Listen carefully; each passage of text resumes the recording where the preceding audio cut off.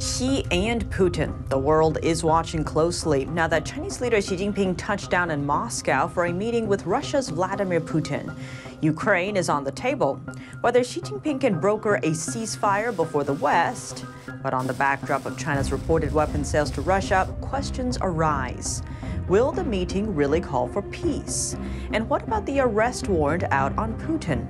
That's over alleged war crimes in Ukraine. What do you think? Let us know below subscribe if you haven't already.